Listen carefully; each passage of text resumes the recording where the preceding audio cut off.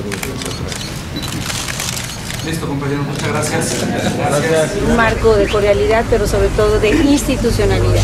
Nos interesa impulsar proyectos en favor de Puebla y en mi caso, por supuesto, que también en ese mismo marco. Eh, hablamos desde muchos de los caminos a lo largo de todo el estado, particularmente en las zonas indígenas que es donde en mi caso, después de recorrer la entidad, encontré pues muchas, muchas eh, ausencias o muchas cosas que se tienen que, mejorar.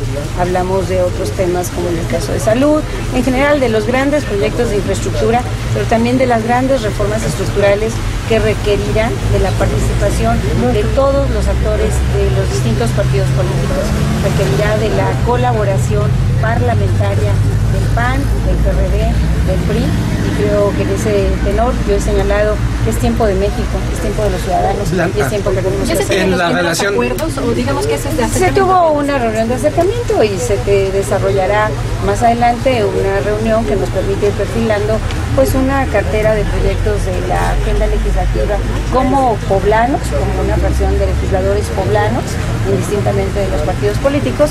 bueno, más bien la petición que nos hacen muy respetuosa es tratar de ocupar espacios las más importantes comisiones que tengan que ver con decisiones que directamente pueden beneficiar al pueblo. Apenas estamos, mira, nosotros ahora mismo me voy a la Ciudad de México porque tenemos una reunión con el jefe nacional, con Gustavo Madero, que nos convocó a todos los diputados y senadores electos del país, pues precisamente para empezar a discutir estos temas. Vean pues qué oportuno ha sido el que yo desayune aquí y llevemos una sensibilidad muy especial de lo que necesita Puebla.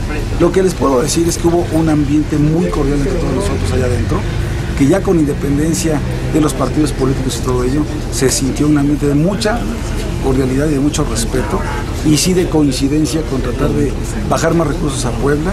Todos los partidos en la Cámara de Senadores unidos para trabajar en favor de Puebla. La campaña electoral quedó atrás. A partir del 2. Y hay que trabajar por la agenda de beneficio de Puebla. También está claro que la fracción del PRI va a trabajar por la agenda del presidente electo se trata de trabajar en beneficio de todos los poblanos. Para ver quién queda como coordinador o también para el tema de las este, diferentes comisiones. No está todavía definido nada.